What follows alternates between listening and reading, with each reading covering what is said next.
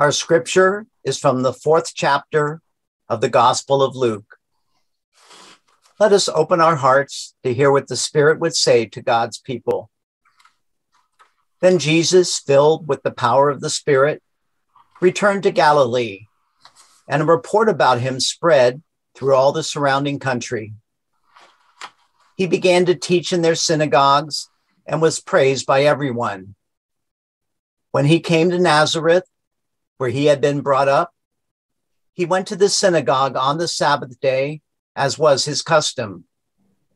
He stood up to read, and the scroll of the prophet Isaiah was given to him.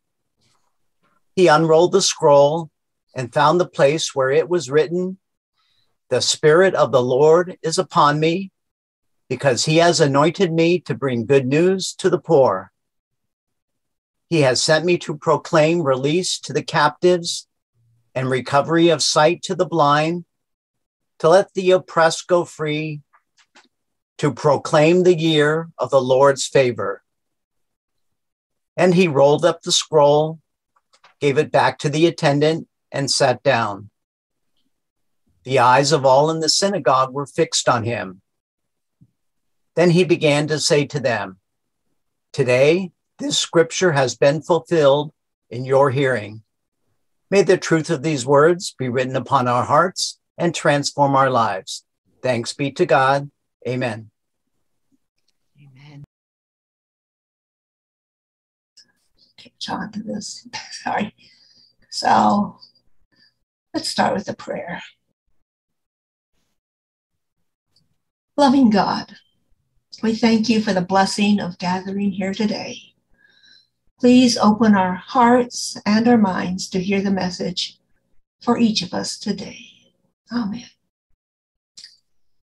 So today is the third Sunday after Epiphany, and the gospel reading we heard is considered to be the story of the beginning of Jesus' public ministry. Of course, this happens after his river baptism, where the Holy Spirit descended on him like a dove and a voice from heaven proclaimed, You are my son, whom I love. With you I am well pleased. And after his baptism, Jesus was tested in the wilderness for 40 days. After he passed these temptations, Luke tells us that Jesus returned to Galilee in the power of the Spirit, and news about him spread throughout the whole countryside. And Jesus was teaching in their synagogues and everybody praised him. So when he returned to his hometown of Nazareth, he had already made somewhat of a name for himself. Of course, the problem in Nazareth is that everybody knows him as Joseph's boy. Now, we really don't know much about Jesus' childhood from the Gospels other than a story of when he was 12.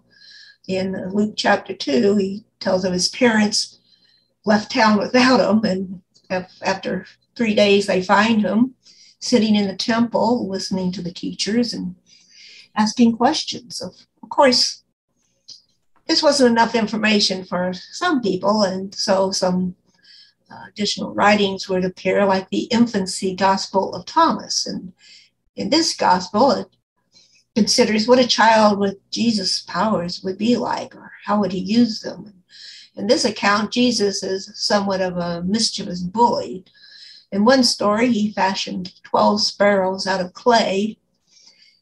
And when he was uh, called out for doing this on Sabbath, uh, Jesus made the clay sparrows come alive and they fly away. And in another story, some child bumps into Jesus, which uh, provokes him. And so Jesus cursed him, and the other child just dropped dead. Now in Luke, it says Jesus grew with wisdom and stature and with favor of God and man. And I doubt if that would be true if uh, the uh, infancy gospel of Thomas was true, where Jesus seemed kind of like a terrible child. So I tend to think Luke's account is certainly more valid. But I like to think Jesus had sort of a normal childhood probably got into the usual mischief that teenagers do. Um, I don't know what kind of mischief teenagers in ancient Palestine would get into. Uh, maybe drinking, partying, skipping school. Oh, that was me. Uh, maybe uh, Jesus was more like Mary. Her teenage rebellion was becoming Catholic. Um, maybe Jesus spent all day in the synagogue instead of helping Joseph in the, the shop, maybe sweeping up sawdust off the floor.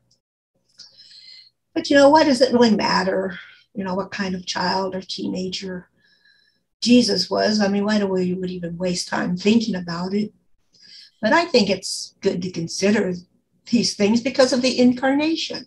Too often we just think of Jesus as some divine miracle worker and we forget his humanity, that Jesus was just as human as you and I.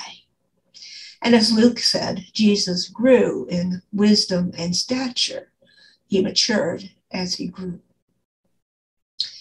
Well, I suppose he was probably learning carpentry from his father, Joseph. His parents would have brought him to the synagogue every week. He'd hear the scriptures read. When he was age, he would have been asked to read also, but nothing big or out of the ordinary, other than we may have he may have been known for his thoughtful questions and, and was respected.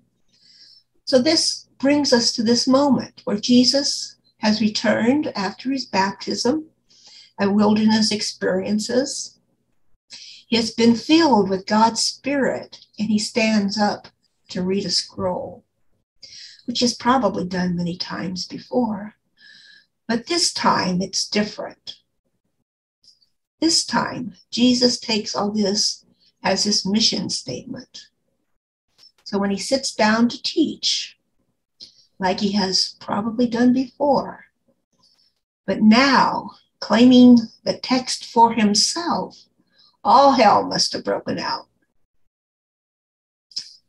Everything that follows in his life will amount to the living out of the prophecy he claims for himself that Sabbath morning in Nazareth. And he keeps doing these things until it finally kills him. Some people are pleased and happy with what Jesus does, but there are many who do not because it upsets their unfair advantage, questions their complacency, and pushes them to recognize their unfaithfulness to God these people will find their discomfort increasingly intolerable and think that the judicial murder of Jesus will bring an end to the matter. But they are wrong.